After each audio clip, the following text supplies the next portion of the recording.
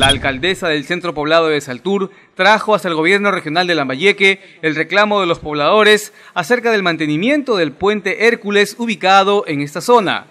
Porque ese puente tiene más de 90 años de antigüedad y ese puente sirve como una vía alterna ¿no? Cuando el puente Reque se malogra, como lo que ha pasado en estos 15 días.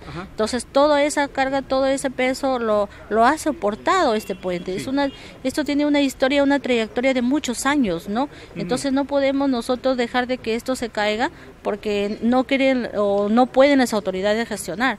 Porque si bien es cierto, desde el año pasado se viene pidiendo de que se haga el mantenimiento y hasta la actualidad no lo hacen, quien lo ha hecho es una empresa privada, ¿no?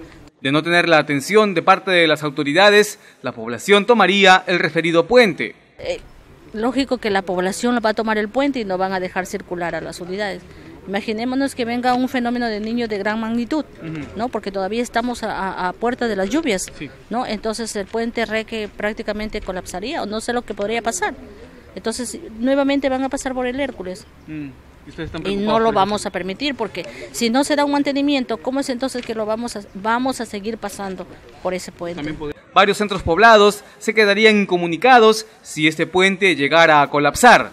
Saltur nada más es cerca de 8.000 habitantes.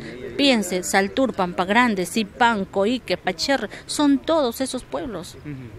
y, igual perjudicaría el turismo porque no podrían pasar para Zipán o Carajada, ¿no?